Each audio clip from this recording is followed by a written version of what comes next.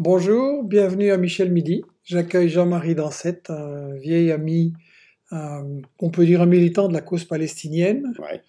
Et euh, c'est quelqu'un qui est euh, très actif dans la solidarité, mais concrète, vous allez voir, concrète au quotidien avec les Palestiniens, avec oh, toute une série d'activités concernant la culture. Vous organisez, votre association organise des voyages. Euh, en Palestine. Il y a aussi un festival auquel j'ai déjà assisté euh, deux fois, qui est tous les deux ans dans l'Aveyron. C'est ça, un festival Palestine en campagne qui est assez original. Ça vaut la peine d'en dire deux mots, bien que ça vienne de se passer il y a quelques mois, mais c'est dans l'Aveyron, au pays des tripous et de saucisses aligot. Mhm. Voilà. Et oui, c'est un beau festival 100% euh, Palestine avec euh, des invités euh, qui viennent de Palestine et de toute la Palestine, y compris de Gaza, de Cisjordanie. De... C'est ça qui est caractéristique. Hein. il n'y a que les Palestiniens qui peuvent prendre la parole. Alors le micro, il est réservé aux Palestiniens. Voilà. Et palestiniennes. Ah oui. Et donc vous avez un, tu as un beau casting là. Chaque année, il y a des invités assez étonnants. Euh, comment tu les trouves? 18 bah, ans, je vais en Palestine, donc euh, j'ai 18 ans de réseau. Voilà. Et euh, c'est pour ça qu'il y, y, a, euh, cette année, on avait un barbier, par exemple, qui, mhm. a, euh, qui, a, fait. oui, qui n'a pas eu vraiment du. qui a plutôt été en chômage avec toi, mais à part ça. Un barbier qui venait du camp de réfugiés de Naplouse, donc c'est mhm. original, oui, oui.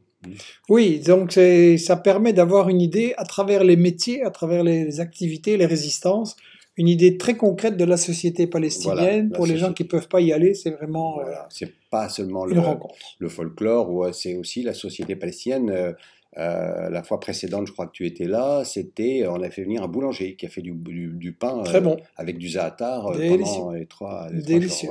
Ce qu'il faut dire aussi, c'est que c'est une chouette ambiance parce qu'il y a beaucoup d'amis de la Palestine qui viennent de tous les coins de la France, de Belgique, de Suisse, etc., qui se retrouvent là pendant un grand week-end ensemble, qui mangent ensemble, qui refont le monde ensemble. Et euh, oui, il y a des rencontres euh, très très belles, avec aussi le côté artistique quand même, la musique, les danses, euh, c'est très fort aussi. Hein. les conférences aussi de Palestiniens, oui. Ok, mais bon, aujourd'hui on va parler particulièrement de l'autre aspect, c'est-à-dire, on a donné le titre Comment vous pouvez aider les Palestiniens concrètement chaque jour? Comment ça t'est venu cette idée que les simples euh, personnes, je veux dire pas militantes, pas représentants, pas journalistes ou quoi, peuvent aussi faire quelque chose envers les, pour aider les Palestiniens? Cette idée-là, elle était venue comment? euh, C'est un voyage, une rencontre. Mm-hmm. une rencontre, c'est-à-dire que euh, je dis toujours, tous les gens qui vont en Palestine, ceux qui sont allés en particulier pendant la deuxième intifada, euh, eh bien, quand on revient, on se demande qu'est-ce qu'on peut faire. Parce qu'il y a une injustice, là, vous savez, on, part avec un imaginaire euh, qu'on démonte sur place, on voit cette société palestinienne qui est magnifique euh, et, mmh. en, souffrance sous cette occupation. Et quand on revient, on est quand même... Tous les gens qui reviennent de là-bas, eh ils disent « je veux faire quelque chose voilà, il faut, ». Tout le monde n'est pas écrivain voilà, il faut trouver le levier. Mhm. Et euh, donc la première fois, c'était en novembre 2002, j'y étais allé. Et puis euh, en mars 2003, j'ai fait une rencontre. J'ai fait la rencontre d'un personnage euh, qui, c'est assez rare de trouver cette définition, mais qui se définit comme palestinien d'origine française. Mhm. Et donc, il connaît très bien notre culture occidentale, on va dire, et puis qui est devenu palestinien. Et donc, lui m'a dit, te trompe pas, si tu veux faire quelque chose, les Palestiniens ne sont pas des mendiants. Donc, si tu veux les aider, il faut vendre leur huile d'olive. Les Palestiniens ne sont pas des mendiants. Ça s'oppose à quelque chose. Il y a eu... Ça s'oppose à quoi? L'Europe, elle est comment par rapport aux Palestiniens? Ben, L'Europe d'en haut? ben, C'est-à-dire qu'en euh, en fait, euh, on, une, cause politique que nos gouvernements ne veulent pas euh, traiter et régler, ils la transforment en cause humanitaire. Mmh on est d'accord. Et donc, euh, bah, c'est plus facile, et ce que fait l'Europe d'ailleurs, la France, euh, envoyer de l'argent pour euh, sur des projets, voilà. Mais en fait, on, a nous dans nos producteurs la majorité, hein, à part l'organisation des paysans, c'est un peu à part, mais ces producteurs, ils sont choisis parce qu'ils refusent l'aide internationale et ils disent, voilà, on sait faire des choses, on veut vivre de notre travail. Donc la caractéristique du Filicin, c'est une coopérative qui vend des produits palestiniens pour avoir justement une relation économique, un, contrat économique et pas euh, la charité des institutions. Exactement, Mhm. c'est-à-dire c'est une demande des Palestiniens, on est importateur. On est importateur de produits de Palestine, on fait la promotion du- des beaux produits de Palestine parce qu'il y a vraiment des produits de qualité. euh, et ça partout. Et après, donc, euh, on, on les met sur le marché à différents canaux de vente. Mhm. Alors, cette idée, elle t'est venue euh, avec, tu as dit, avec une rencontre, une rencontre avec qui? Alors Sabri, Sabri Giroud, c'est à, euh, il est parti euh, compléter des études en archéologie et Mhm. puis euh, bon, il a fait une rencontre, il s'est marié euh, euh, et puis euh, il s'est installé là-bas, quoi. Donc il a sa famille et lui aujourd'hui il a une agence de tourisme. Hein, c'est Mhm. notre partenaire ici euh, pour euh, faire visiter. C'est le partenaire pour les voyages. Et, et donc lui m'a parlé de cette organisation de paysans et euh, m'a mis en relation avec Abou Jamil. D'accord. C'est le personnage qu'on voit avec une chemise blanche comme toi, Voilà. qui est là-bas à droite. Et Voilà. euh, c'est qui? Abou Jamil, c'est euh, l'ancien directeur d'une organisation de paysans qui est à la retraite maintenant, mais ça c'était une rencontre donc en 2003. Là, on le voit sur cette image euh, donc euh, dans un, un moulin. Il, Mhm. euh, il négocie parce que bon, euh, voilà, il y a eu la production d'huile d'olive et donc il faut que l'organisation de paysans achète les quantités d'huile d'olive dans différents moulins, dans différents villages, dans différentes coopératives, de manière après à les, les stocker et Mhm. puis bah, les, les vendre quoi. hein. L'huile d'olive palestinienne, qu'on on voit ici une bouteille que votre euh, coopérative distribue, ça c'est le produit phare, euh, c'est le produit le plus connu et très représentatif de l'économie palestinienne. Oui, c'est très important parce que en fait, euh, nous, nous avons choisi d'abord de soutenir les paysans palestiniens parce que en fait, ce sont les paysans qui gardent la terre par rapport au problème de la colonisation, d'installation Mhm. des colonies qui prennent la terre en permanence, hein, euh, la construction du mur. Donc euh, eux, ils se battent. La définition d'Israël, c'est le vol de la terre. Ah bah oui, On a euh, vu toutes ces images horribles de bulldozers en train de renver- de- de- de- déterrer euh, des oliviers qui ont des centaines d'années. Ouais. Ça, ça fait très mal. Et ça, c'est le, le point stratégique, la terre. Bah oui, euh, le plan sioniste, c'est de tout prendre hein, de toute façon, donc euh, progressivement. Et, et donc euh, l'organisation de paysans en question fait des actions en même temps à la Cour suprême israélienne quand il y a une colonie qui s'installe, ou qui a prévu de s'installer. Mhm. Enfin, je veux dire, ils, ils travaillent sur toutes sortes de plans. C'est pas seulement la production d'huile d'olive. Ils sont sur la bagarre pour remettre en culture des terres non cultivées, pour ben, aussi creuser des citernes parce que bon, les paysans n'ont pas le droit de creuser des puits, euh, Mhm. sauf autorisation de l'armée d'occupation, mais euh, qui Bien donne, donne jamais. Voilà, donc ils sont sur toutes sortes de, de- de chantiers pour accompagner les paysans pour qu'ils restent sur leur terre et qu'ils refusent l'aide internationale. Donc, quand on leur achète de l'huile ou un autre produit, on, à la fois on leur donne de quoi tenir le coup économiquement, mais aussi les moyens de remplir leur, leur fonction de résistance ben oui. contre la colonisation. Euh, un, un- un ami justement de- avec qui je travaille de l'organisation de paysans m'a amené un jour dans un village, il y a, il y a déjà longtemps, il avait réuni le conseil municipal Mhm. euh, dans ce village, donc euh, village de paysans, oléiculteurs. Et j'étais là, euh, bon, il fallait qu'il me montre pour dire à ces paysans, bon, il faut refuser l'aide internationale, il faut continuer malgré les exactions des colons ou de l'armée israélienne, il faut continuer à ramasser les olives, à produire de l'huile d'olive, parce que ce Mhm. gars-là, eh ben, il, il va acheter votre huile d'olive. Voilà. Et ça, euh, c'est le travail de, de l'organisation de Donc tu es un et- peu euh, un autre visage de la France et de l'Europe là-bas pour eux. Tu es notre représentant des gens d'en bas. Eh oui, oui, oui, c'est euh, c'est notre vision, oui. euh, on est intéressé par, euh, par les produits et on est, on est bien échangé, quoi, plus que... bon, c'est vrai que la tentation, euh, pour des gens qui prennent des informations qui sont comme des éponges, quoi, on est toujours en souffrance de prendre des informations qui sont toujours négatives de la situation. Euh, ben, la première réaction, c'est que- qu'est-ce qu'on peut faire? Est-ce qu'on envoie de l'argent? Est-ce que voilà Mhm. en fait, euh, non, les- absolument pas. euh, et moi, je suis témoin. des- des- il n'existe pas. Je n'ai jamais vu un mendiant ou quelqu'un qui dort dans la rue à, à Naplouse ou à Hébron. Ça n'existe pas. Mhm. hein? Donc, tout, le, tout le monde est, est au travail ou se débrouille pour. On se fait une idée, je crois, je viens d'aller faire un petit voyage là de 2-3 jours, donc ça m'a aussi appris des choses. on se fait une idée de l'économie palestinienne un peu primitive, un peu arriérée, un peu sauvage, mais c'est pas ça. Non, parce que, par exemple, pour l'huile d'olive, bah, il y a eu des contraintes, parce que pour exporter, évidemment, on a les normes européennes qui sont très compliquées. Ils exportent aussi au Japon. Alors au Japon, c'est encore pire. Mhm. Donc, euh, ils ont eu euh, des, euh, comment dire, des, des experts qui sont venus les accompagner au niveau de la récolte, de la conservation, de, de la, comment dire, de, de, l'extraction, hein, puisqu'on parle plus maintenant de, presse, de pressage mhm. des olives, c'est de l'extraction.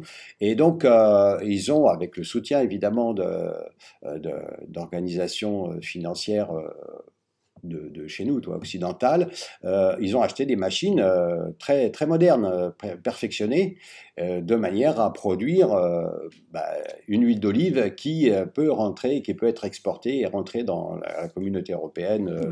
Mhm. Mais en fait, j'ai visité Naplouse, qui est un peu capitale économique, là, Hébron, pardon, qui est un peu capitale économique, et on a vu différents types d'entreprises y compris des choses très modernes. Je sais que ce qui agace beaucoup les Palestiniens, c'est qu'on leur dit Vous avez Internet, vraiment Des mm. choses comme ça. Donc, euh, c'est euh, une ah économie quand même relativement développée, mais bloquée.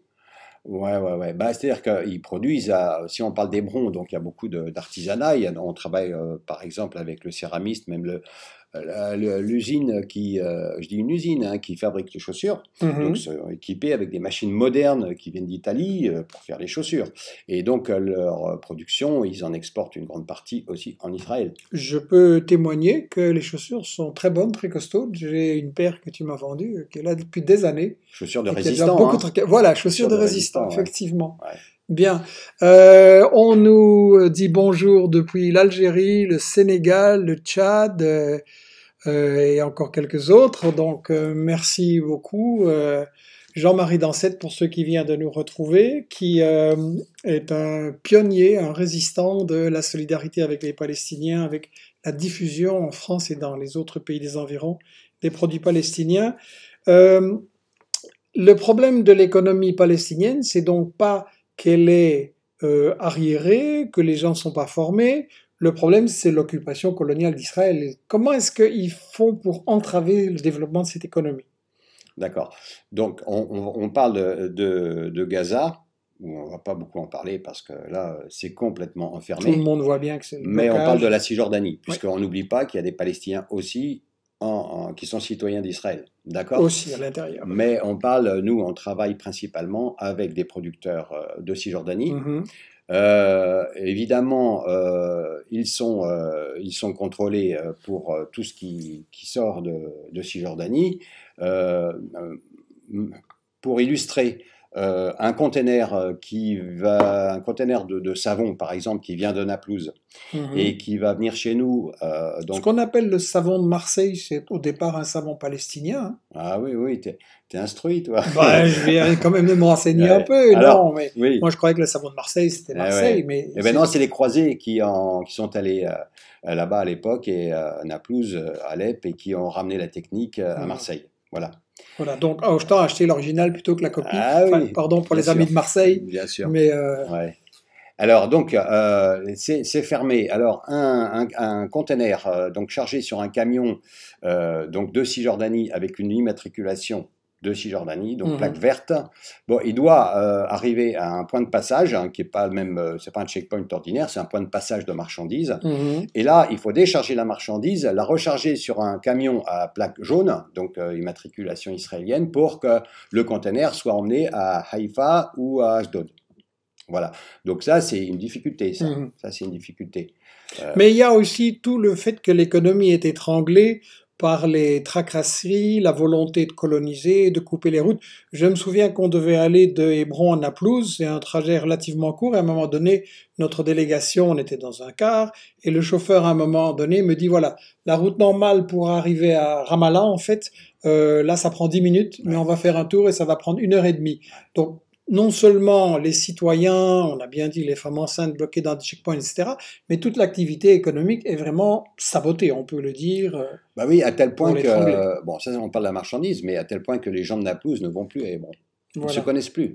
Ils ne se mm. connaissent plus parce que euh, il y a l'humiliation du checkpoint euh, à l'est de Bethléem, donc qui est l'est de Jérusalem qui est complètement colonisé. Mhm. Donc là, c'est compliqué puisque Naplouse est au nord de Jérusalem et Hébron au sud. donc il y a une route de, certainement que tu as, tu as appris, que les Palestiniens appellent Wadi Nar. Donc c'est la, la route du, du feu la route du mhm. feu, hein, donc qui est très compliqué et c'est vrai qu'il est très. Alors bon, alors pour les marchandises c'est pareil. Si on veut faire un conteneur composé, hein, ça peut nous arriver euh, de prendre trois palettes de, dans le conteneur trois palettes de savon et puis euh, je sais pas cinq palettes de céramique. Donc il faut que le conteneur il aille d'un point à l'autre hein, et, ça c'est compliqué ça. Ouais. Ça c'est à l'intérieur, oui. Ok. Euh, donc pourquoi est-ce que acheter des produits palestiniens pour les Français, pourquoi c'est important? Les Français et les autres. Hein. Alors, euh, ben, comme on disait, euh, on revient de Palestine, on cherche qu'est-ce qu'on peut mhm. faire. Voilà. Alors évidemment, il y a les, euh, les actions qui marchent quand même. L'action BDS, ça c'est bon. il y a l'organisation de, de, promotion de la culture palestinienne avec bon maintenant il y a beaucoup de, de festivals de cinéma palestiniens. Hein. Là il y en a un à Toulouse qui va démarrer en, mars, Ciné Palestine Toulouse, et puis euh, aussi euh, Palestine en vue, c'est à Lyon, c'est des gros mhm. festivals maintenant.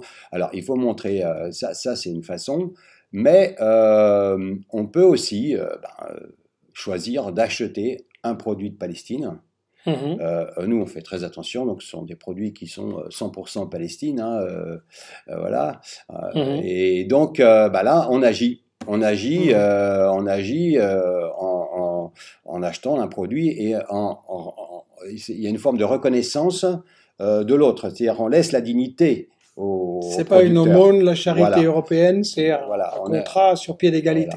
Et pour, euh, pour les Palestiniens, c'est très bien, puisque nous, dans notre activité, bon, maintenant, on publie euh, les photos de stands euh, sur Facebook et ainsi de suite. Et donc, les, les, les Palestiniens sont, sont, très fiers de voir qu'en en France, on achète des produits de Palestine.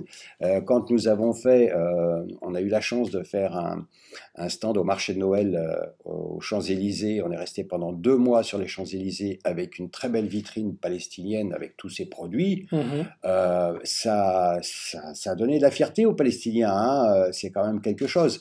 Et ça, ils en ont besoin. Euh, bon, bien sûr. Euh, oui, parce qu'on fait tout pour les rendre invisibles, en fait. Hein. oui, ou alors bon, qu'ils soient notés ou bien comme terroristes ou bien comme mendiants. Ou bien terroristes ou bien mendiants. voilà. Alors qu'en fait, quand, pour tous ceux qui sont allés là-bas, il y a une société magnifique, quoi, hein, avec ben, plein de belles choses, d'activités culturelles. Et, oui, c'est un beau pays, c'est une belle société. On va commencer par montrer quelques produits et quelques producteurs, et puis on reviendra à la question concrètement comment vous pouvez faire pour vous mettre en, en rapport avec tout ça.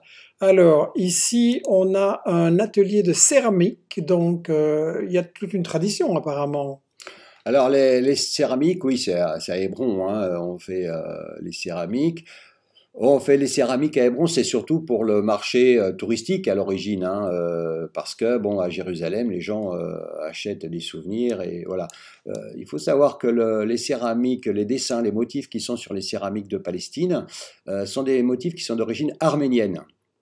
Hein, ce sont mhm. les Arméniens qui ont, amené, euh, qui ont apporté cet art en Palestine, puisque en Palestine, il y a toutes sortes de, peuples qui sont arrivés. C'est un peu carrefour est-ouest. Ah, hein ouais, ouais, ouais.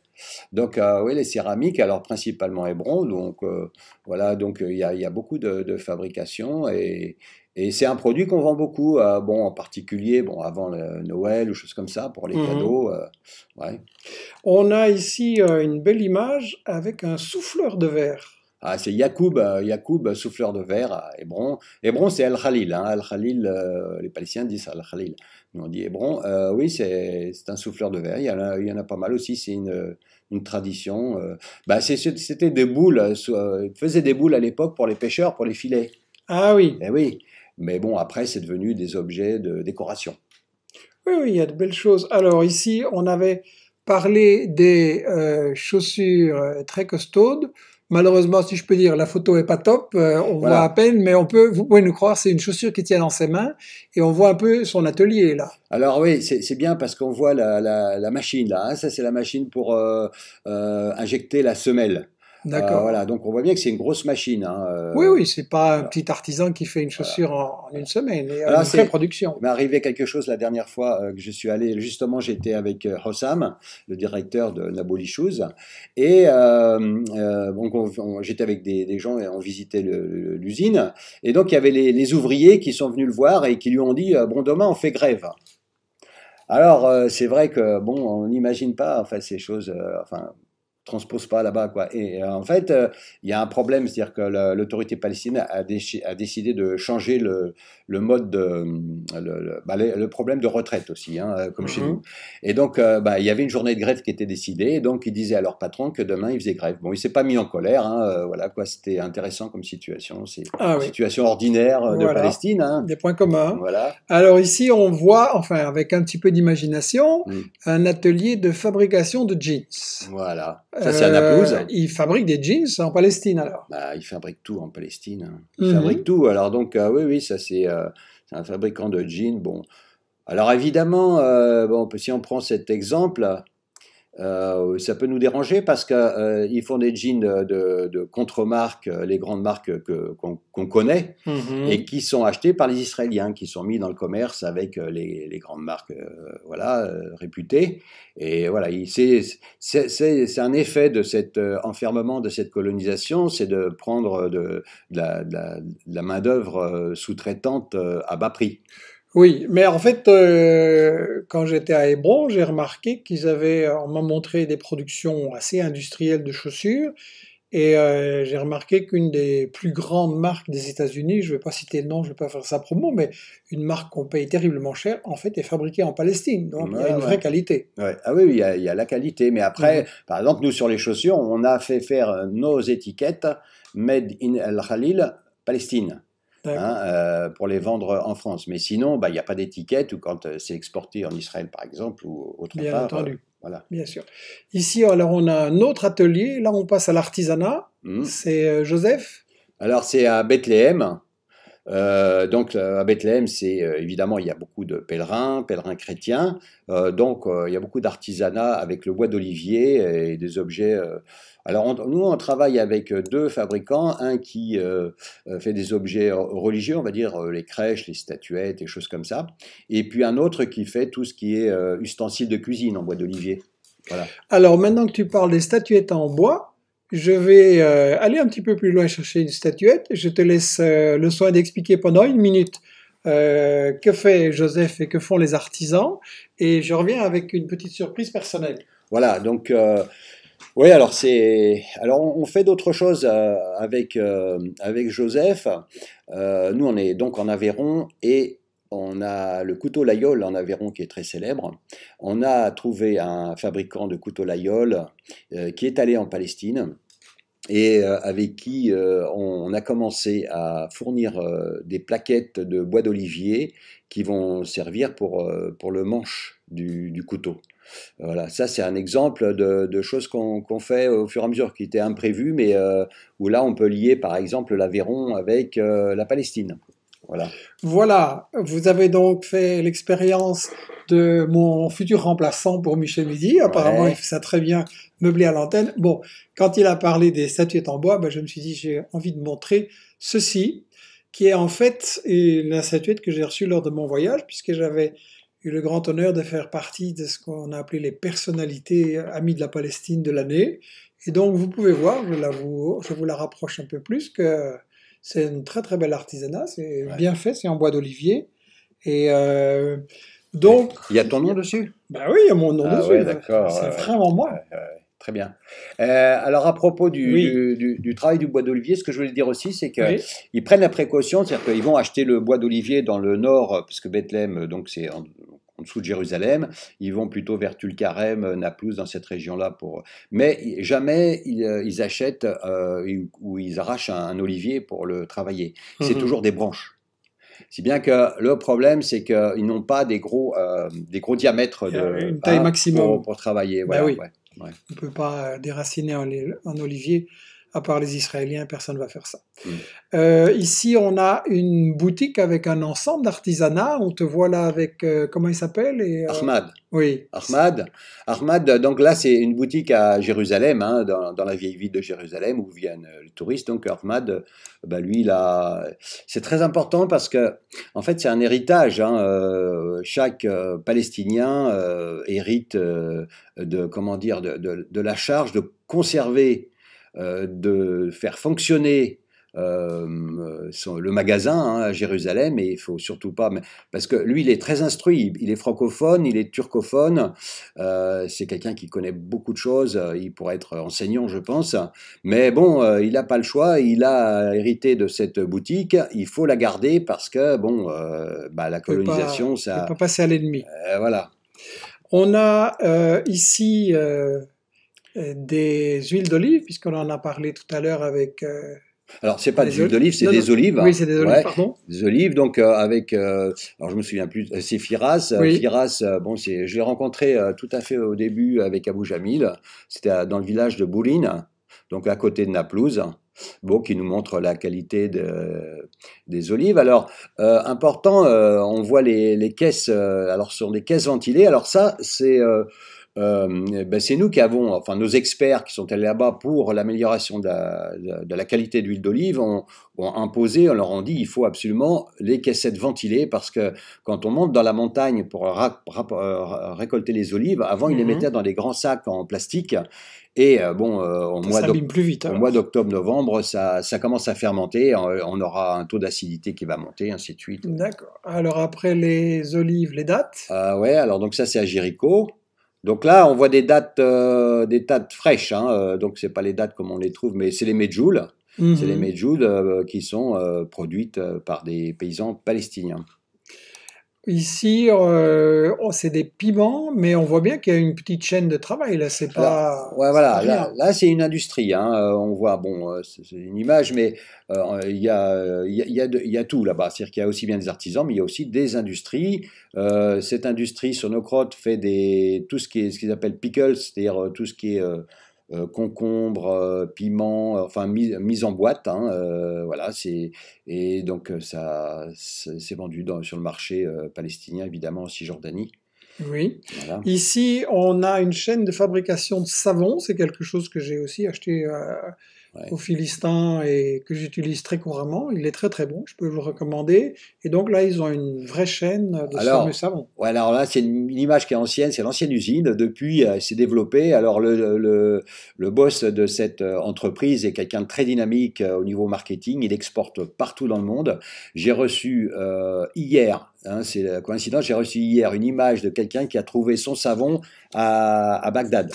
Voilà. Donc là, on voit une machine ancienne, mais maintenant, c'est très. euh, euh, c'est beaucoup plus moderne, la fabrication. Il fait toujours du savon traditionnel, mais il fait aussi des savons, euh, alors toujours à l'huile d'olive, hein, bien sûr, c'est la base, mais avec, bon, que ce soit de, de, de, de la sauge parfumée avec de la grenade, enfin voilà, toutes sortes de savons. Il, vraiment, il fait un produit magnifique.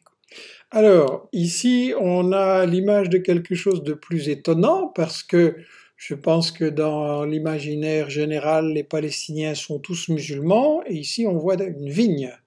Et on voit euh, l'ensemble du vignoble là, qui est pas petit, et des gens qui travaillent dans la vigne. Et donc, il y a des Palestiniens qui fabriquent du vin.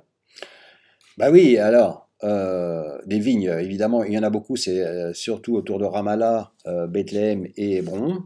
Euh, donc les vignes, elles ont toujours existé. Il faut, faut se souvenir qu'à l'époque de l'Empire romain, quoi, il y avait une grosse production de vin en Palestine.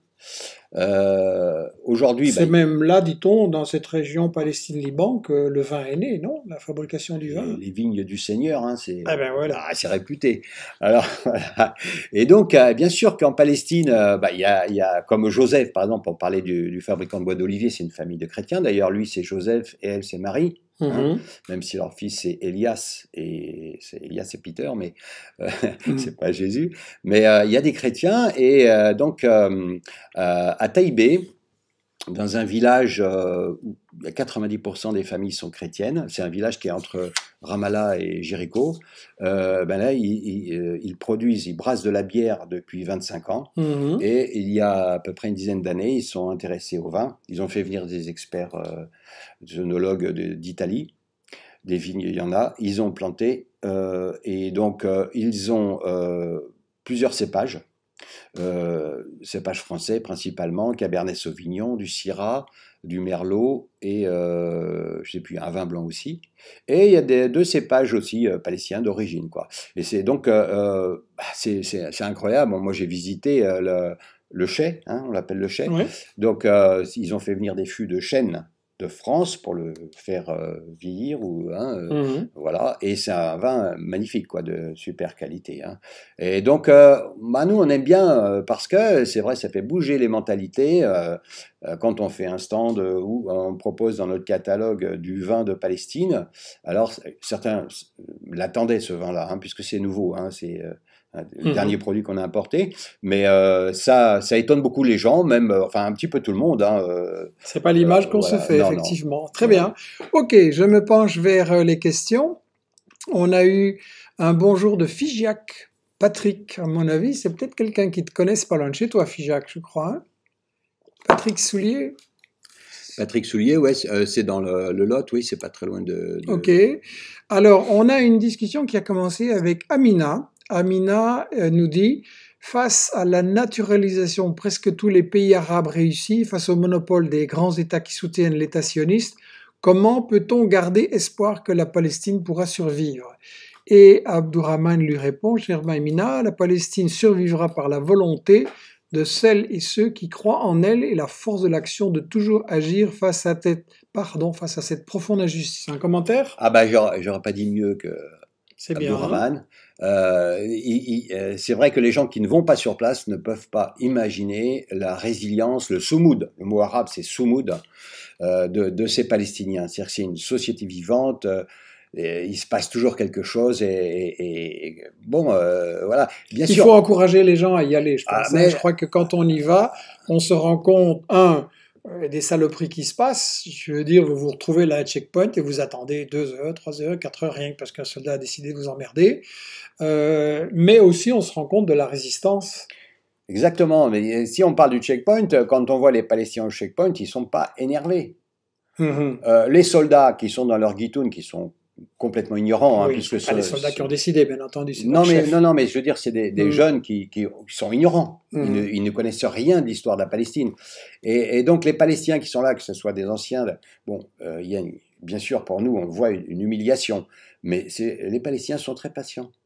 Parce qu'ils sont dans, ils sont pas comme nous les Occidentaux pressés. Euh, souvent on me dit alors c'est quand est-ce que c'est la paix? Non, il n'y a pas. Les, les Palestiniens, ils, euh, ils, ils, continuent et malgré euh, malgré tout ce qui peut se passer autour d'eux, ils mmh sont debout. Ils sont et je sais pas. Ça c'est. Moi j'ai appris en 18 ans de, de fréquentation des Palestiniens. Ça m'a changé. Hein. J'ai appris beaucoup de choses. Qu'est-ce que ça devait être avant alors? Bah oui, non, mais la patience. Mais moi, je crois que je vais aller un peu plus en Palestine aussi pour effectivement apprendre la patience. Euh, on va maintenant venir aux choses concrètes parce que on a des questions là-dessus aussi. Et comment on fait concrètement avec toi? Je montre deux, trois images pour montrer un peu comment ça se passe.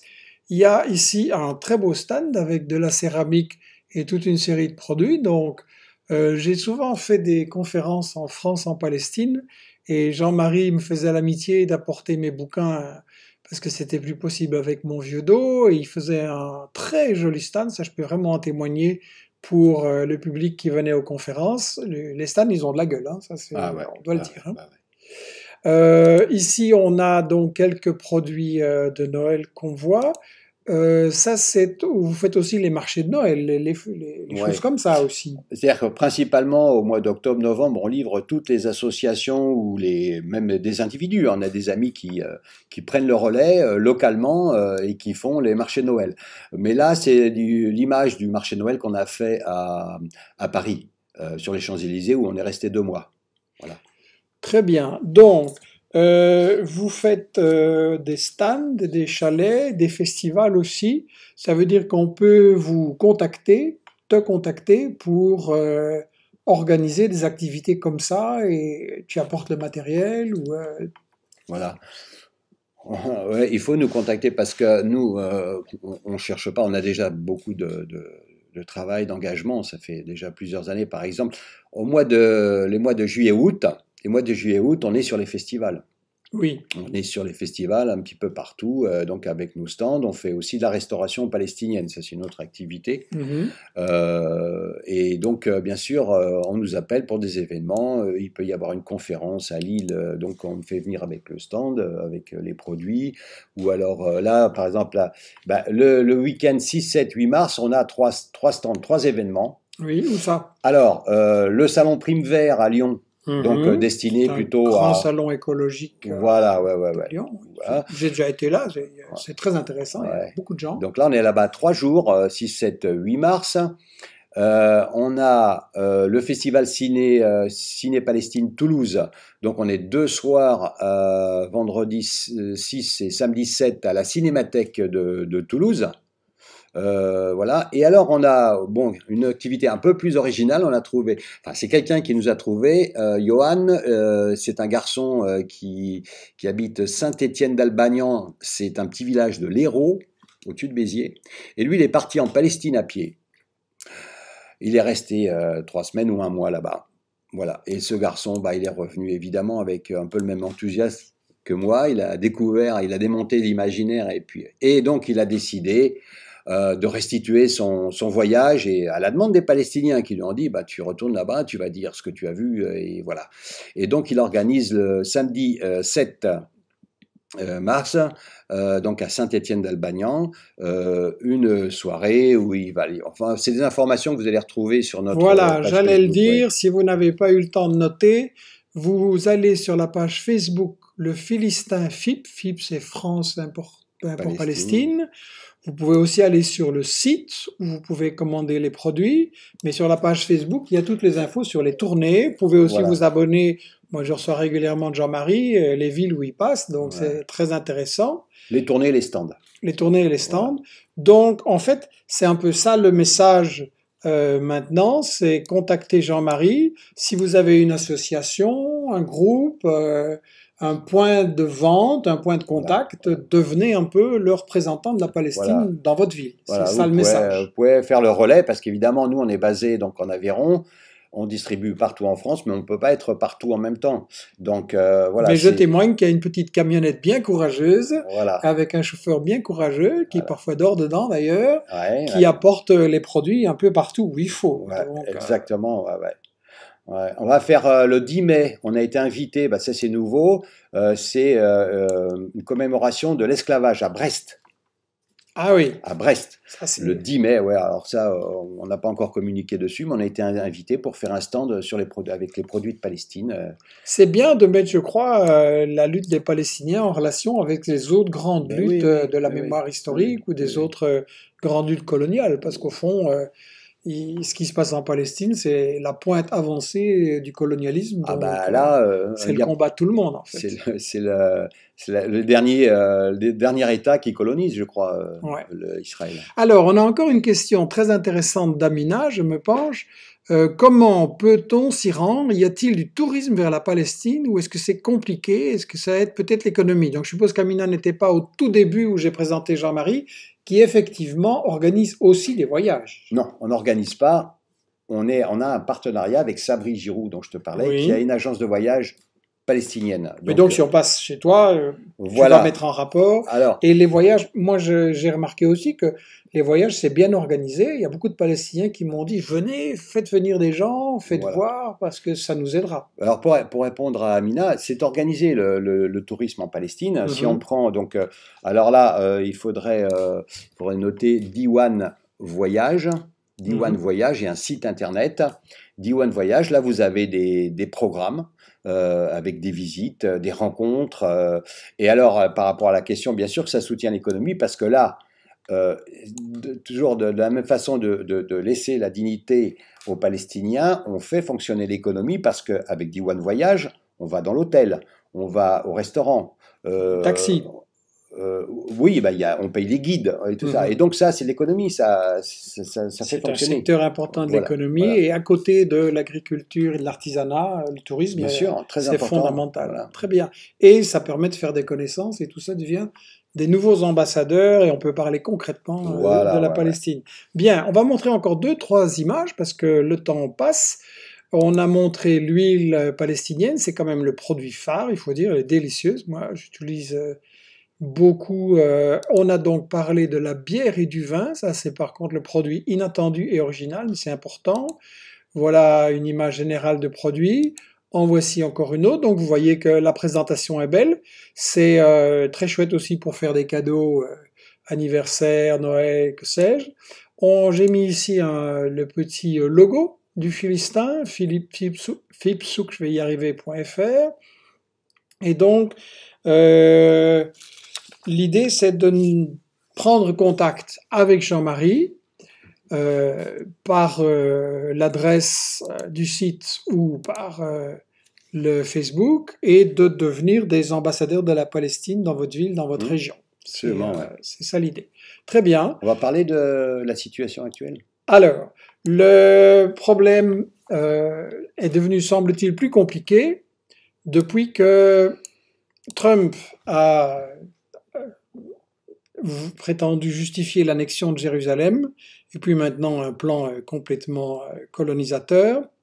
Du coup, il y a des tensions très fortes avec la Palestine et Israël, et les exportations sont problématiques ou ça va? Maintenant, puisque donc, alors, euh, l'autorité palestinienne, suite à, la déclaration de Trump, a, décidé de couper les relations avec Israël. Alors, les relations, c'est sous. Il y, a, plein de choses qui se passent entre l'autorité palestinienne et euh, l'État d'Israël, le gouvernement d'Israël. Par exemple, est-ce qu'on sait que la police palestinienne est sous-traitante de la police israélienne? C'est-à-dire que c'est la police palestinienne qui arrête pour, le, pour les Israéliens des, euh, des résistants ou je ne sais pas, euh, palestiniens en Cisjordanie et qui les met dans les prisons palestiniennes. Est-ce qu'on le sait ça? Non, Bon. à mon avis, c'est peu connu. Alors, donc ça, c'était une sous-traitance. Alors, il n'y a plus de sous-traitance. donc euh, là, donc, ils ne travaillent plus pour les Israéliens de ce niveau-là. Mais euh, pour ce qui nous concerne à nous, ouais, c'est un problème parce que, euh, donc, bien, bien sûr, les, les containers de marchandises, ils doivent sortir de Cisjordanie. Et là, on a un gros problème. On a un container que- qui est où- avec de l'huile d'olive, du za'atar et puis du- des dattes, hein, puisqu'on a besoin des dattes pour le ramadan en particulier. Euh, ben, le zatar, deux mots d'explication, parce que c'est très bon, mais est-ce qu'on connaît le terme palestinien? Ouais. C'est quoi le zatar? Euh, c'est traduit littéralement, euh, en particulier par Mahmoud Darwish, comme euh, c'est du thym, mais en fait c'est- c'est c'est d'origan. C'est l'origan syrien, euh, Origanum syriana, chose comme ça. Et donc c'est la base, euh, avec l'huile d'olive, c'est la base de la nourriture euh, des, de, la population du, du Mashrek, hein, c'est aussi bien Syrie, Jordanie, euh, Palestine que Liban. Euh, le za'atar euh, palestinien, il est différent du za'atar du Maghreb. C'est-à-dire qu'au Maghreb, on l'utilise autrement. Euh, en- au Moyen-Orient, en Palestine en particulier, il est mélangé avec des graines de sésame grillées et du sumac. Hein, sumac, c'est une petite graine euh, qu'on utilise beaucoup là-bas dans la cuisine qui donne un goût acidulé au mélange. Donc ces trois composants euh, sont mélangés et euh, donc les, les Palestiniens trempent le pain dans l'huile d'olive et dans ce mélange euh, au petit déjeuner. Et ça, c'est depuis que les enfants... Et se- je peux dire que c'est vraiment délicieux. Voilà. Donc, Ah, ouais. en même temps que l'huile d'olive, commandez ça. Ah, ah, je, je veux dire euh, par Oui. rapport à ça, parce que je, euh, je, je m'enorgueillis de dire que j'ai fait connaître en France le za'atar palestinien. On connaissait peut-être le za'atar libanais, le za'atar palestinien n'était pas connu. Mhm. On a commencé à le commercialiser en 150 grammes, et puis en 500 grammes, et puis en kilo, et puis maintenant on le vend en 5 kilos parce qu'il y a des boutiques qui, euh, qui, qui vendent le, le za'atar au poids. Ok, donc Voilà, pour le donc, passer euh, au magasin, voilà. c'est bien aussi. C'est un très bel ambassadeur de, de, la, de la cuisine palestinienne. Très bien. Voilà. Euh, un dernier mot? Non, euh, bah, le mot c'est euh, aller en Palestine, visiter la Palestine. Euh, Faites-vous votre propre idée parce que ce que je pourrais vous raconter c'est ma Palestine euh, avec les, gens que je rencontre là-bas. Euh, et chacun qui va en Palestine, en fonction de son histoire, sa culture, bon, il va faire des rencontres. Je, je veux dire, par exemple, j'ai, je, vais, je, suis en Belgique, donc chez Michel.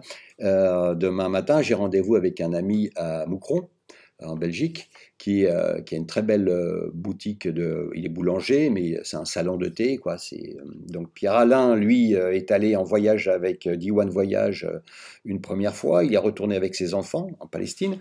Et puis, il y a six mois, il m'a dit J'aimerais bien aller là-bas, mais en immersion. Et donc, il est parti pour une semaine, parce que bon, il a son, son entreprise à faire tourner aussi. Il est parti pour une semaine. Il a été une, une semaine en immersion à Naplouse, et il a fait des ateliers de pain, et, donc il a échangé. Enfin voilà, il a fait des handalas en pain. Et, Les Palestiniens sont très accueillants. Voilà, et euh, quand on y va, on a du mal à partir parce qu'on a oui, des mais échanges. ce que je veux dire, c'est que là, c'est- euh, si, si quelqu'un il fait un autre bien. métier, s'il est peintre, artiste ou quoi, euh, il va trouver quelqu'un. euh, on a, on a un partenaire à, à Naplouse qui nous organise des rencontres. Euh, Oui, c'est ça. Je veux dire des rencontres sur base du métier, sur base ouais, de la passion. ouais, pour, euh, pour l'échange, hein, l'échange. Voilà, donc euh, après cette déclaration d'amour à la Palestine et à la solidarité, on va prendre congé de vous en vous remerciant pour votre présence, pour vos bonnes questions et pour vos encouragements. Je vais vous montrer le titre de l'émission prochaine qui s'appelle, euh, oui, ben, c'est moins rigolo, euh, Les fascistes bientôt au pouvoir. J'accueillerai Erwich le Rouge et on va analyser le fait que, bien, dans la moitié de mon pays en Belgique, en Flandre, le Vlaams Belang est le parti numéro un dans les sondages et le numéro 2, un parti nationaliste flamand très très très à droite, lui court derrière. Et dans d'autres pays européens, assez nombreux même, on voit que l'extrême droite maintenant est euh, en train de progresser et de bousculer toute la scène politique. Ils sont en plus très modernes sur les réseaux sociaux. C'est ça qui a fait notamment le succès du Belang aux dernières élections de mai l'année dernière en Belgique. Et grâce à ça, sur les réseaux, ils arrivent à capter une partie de la jeunesse. Donc, ils se donnent une image moderne, c'est carrément euh, le fascisme 2.0, mais derrière, est-ce que la philosophie profonde a changé? J'aurai pour répondre à toutes ces questions et bien entendu comment y riposter avec moi Erwich Le Rouge, qui est un ami qui analyse depuis des années l'évolution des théories et des méthodes de l'extrême droite. Il attend vos questions, donc ça ce sera mardi prochain à 12h. Dans deux semaines, on parlera de nouveau de la Palestine avec Jean-Pierre Boucher, qui est un militant et un chroniqueur ennemi de la Palestine. Il a été condamné par la justice française pour le partage, pour avoir euh, diffusé le boycott d'Israël et de ses produits, l'autre face de, de la solidarité. On verra avec lui la question euh, est-ce que boycotter Israël est un crime, comme maintenant toute une série de gouvernements français essayent de le faire croire et de pénaliser ce qui est simplement de la solidarité contre le racisme et le colonialisme? Ça sera donc très intéressant dans deux semaines aussi. Je vous donne déjà deux, trois annonces intéressantes. Pour la première fois, Investigation sera avec tous nos livres et tous nos auteurs à la foire du livre à Bruxelles du 5 au 8 mars. Je veux dire, la première fois qu'on aura un stand à nous, vous pourrez rencontrer nos auteurs, venir vous procurer nos livres, discuter avec nous. Pour nous, c'est très très intéressant d'être à la rencontre du public. Du 5 au 8 mars, foire du livre, il y aura les infos. Si vous n'êtes pas abonné à notre newsletter, faites-le, vous aurez toutes les infos, c'est Federica qui s'en occupe. Le 6 mars, il y a une conférence de Jacques Poels qui a été ici dans Michel Midi il y a quelque temps et c'est lui qui a publié chez nous ce livre Les mythes de l'histoire moderne. Il déshabille l'histoire officielle et il vous montre vraiment comment il y a une manipulation. Il sera en conférence à Aubange, près d'Arlon, dans le Luxembourg, donc c'est intéressant aussi pour les Français du coin et les Luxembourgeois. Voilà les euh, infos euh, prochaines. Je vous quitte. Euh, Je vous remercie pour votre intérêt. Je remercie Jean-Marie. Merci Euh, à toi, Michel. hein. Euh, Moi, passionnant. j'aime bien raconter ce que je fais. Oui, c'est hein. la passion. Donc voilà. À Michel Midi, c'est des passionnés. On vous donne rendez-vous euh, mardi prochain avec Erwick le Rouge. Et euh, je prends congé de vous. La bataille de l'info continue.